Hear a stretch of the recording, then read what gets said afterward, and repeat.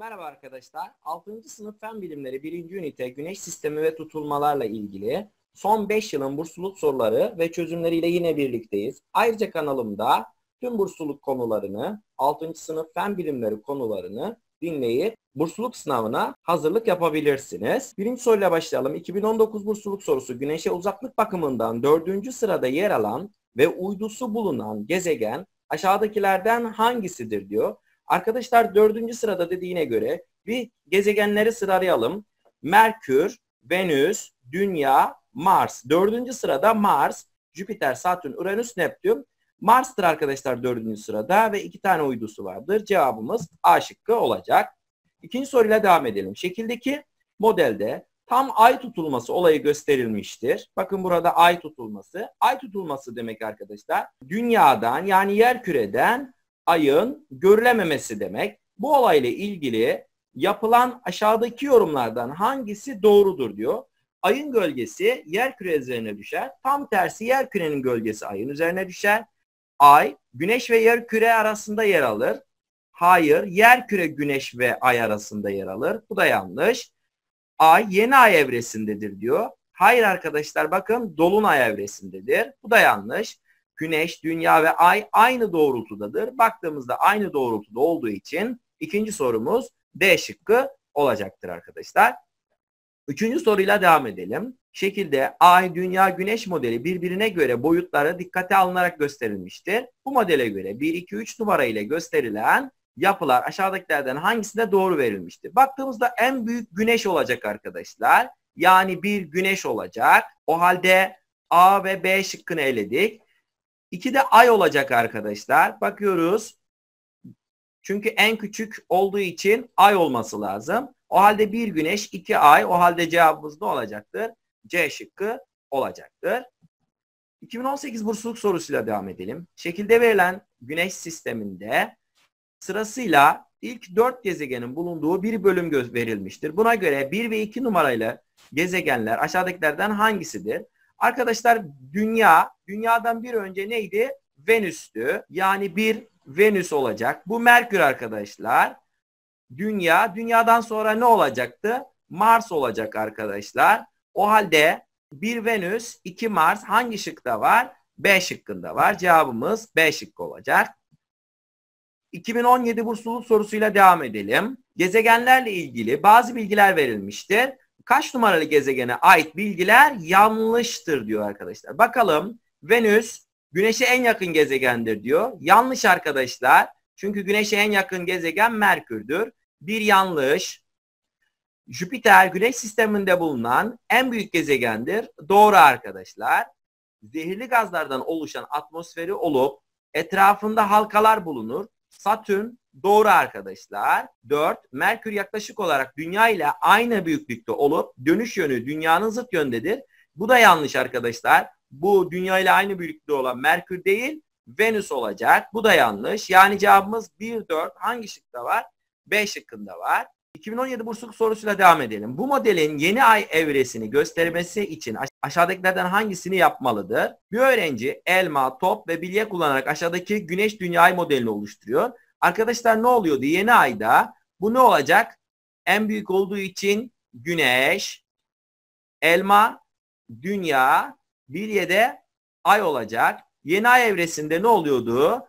Ay, dünya ile güneş arasında olacak. Yani bilye ile elma yer değiştirmesi lazım. Hangi şıkta var bu? A şıkkında bilye ve elmanın birbiriyle yerini değiştirmelidir diyor cevabımız.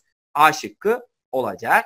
Yine 2015 bursluluk sorusu. Buna göre Dünya, Ay ve Güneş'i büyüklüklerine göre modelleyen eşleştirme aşağıdakilerden hangisinde doğru verilmiştir diyor. En büyük Güneş olacak. Yani karpuz Güneş, bilye Ay olacak. En küçük erik de Dünya olacak. Erik Dünya, bezelye Ay, Güneşte karpuz hangi şıkta var? D şıkkında var. Cevabımız D şıkkı olacak. 2015 bursluk sorusuna devam edelim. Buna göre özellikleri verilen gezegen aşağıdakilerden hangisidir diyor. Güneş sistemi içerisinde bir gezegene ait bazı özellikler verilmiştir. Güneşe yakınlığı bakımından ikinci gezegendi. İkinci gezegen, birinci gezegen Merkür, Venüs. Dünya ile yaklaşık aynı büyüklükte olduğu için dünyanın ikizi olarak adlandırılır. Evet Venüs. Uydusu ve halkası yoktur. Hangi gezegenin özellikleri verilmiş? Venüs'ün yani A şıkkı olacak. Tabloda özellikleri verilen 1, 2, 3 numaralı gezegenler aşağıdakilerden hangisidir diyor arkadaşlar. Güneş sistemindeki en küçük gezegenim Güneş'e uzaklık da ilk sıradayım. Arkadaşlar Merkür. Güneş sisteminde en büyük gezegenim. Güneş'e yakında 5. gezegenim. Jüpiter. Büyüklük bakımından 3. sırada gezegenim. Güneş'e uzaklık bakımından 7. diyor. Evet. O halde Uranüs arkadaşlar. Çünkü 8. sırada Neptün'dü. O halde 7. sırada Uranüs. Büyüklük bakımından da 3. Birinci neydi arkadaşlar? Jüpiter. Sonra Satürn. Sonra Uranüs'tü 3. sırada olan. O halde cevabımız Merkür, Jüpiter ve Uranüs olacak. Cevabımız C şıkkı olacak. Şekildeki 1, 2, 3 ile gösterilen gezegenlerin isimler aşağıdakilerden hangisinde doğru olarak verilmiştir? En büyük gezegenimiz Jüpiter. O halde Jüpiter'den bir önce neydi? Mars. Bir sonra Satürn. Yani bir Mars olacak arkadaşlar. Bu da Satürn olacak. İki de Satürn olacak. Bir Mars diyor. A'yı eledim. D'yi eledim. C'yi eledim. D'yi eledim. Zaten çıktı. İki Satürn arkadaşlar. Üçte en son gezegenimiz neydi? Neptün'dü arkadaşlar. O halde cevabımız B şıkkı olacak. Güneş sistemiyle e, güneş tutulması ile ilgili verilen ifadelerden hangisi doğrudur diyor arkadaşlar. Ayın gölgesi dünyanın üzerine düşer. Evet doğru arkadaşlar. Çünkü güneş, ay ve dünya sıralaması vardı. GAT diye ifade ediyorduk. Dünya arkadaşlar ay, güneş, ayın gölgesi neyin üzerine düşecek? Dünyayın. Ayın gölgesi dünya üzerine düşer. Birinci ifademiz doğru. Dünyanın sadece bir kısmında görülür. Evet arkadaşlar sadece bir kısmında görülür. Her yerinde görülmez. Doğru. Dünya güneş ile ay arasındadır diyor. Yanlış arkadaşlar. Ay güneş ile dünya arasındadır. Üçüncü ifademiz yanlış. O halde hangileridir doğrudur diyor. 1 ve 2 B şıkkı olacak. Güneş tutulması olayını posterle göstermek isteyen bir öğrenci şekildeki verilen güneş, ay ve dünya resimlerini hangi sırayla göre yerleştirilmelidir? Güneş tutulması diyorsa arkadaşlar ne olacak? Güneş, ay ve dünya olacak. Dünyadakiler güneşi göremiyordu. O halde GAT yani güneş kaç numara? 2, 3 ve 1 olacak. 2, 3, 1 hangi şıkta arkadaşlar? D şıkkında. Cevabımız D şıkkı. Ay tutulması ile ilgili bilgilerden hangileri doğrudur diyor. Güneş, ay ve güneş, dünya ve ay aynı doğrultudadır. Doğru arkadaşlar tutulmalarda aynı doğrultuda olması gerekiyordu. Ayın gölgesi dünya üzerine düşer. Yanlış arkadaşlar. Ay tutulmasında güneş, dünya ve ay olacaktı. Güne, dünyanın gölgesi ay üzerine düşeceği için ikinci ifademiz yanlış. Güneş ışık kaynağı, dünya opak maddedir. Evet güneş ışık kaynağı, dünya da opak maddedir. Doğru. Hangileri doğrudur diyor. 1 ve 3 cevabımız B şıkkı olacak. Şekildeki ayın dünya çevresinde yörünge hareketi verilmişti. Buna göre ay hangi noktaya gelirse güneş tutulması gerçekleşir diyor arkadaşlar.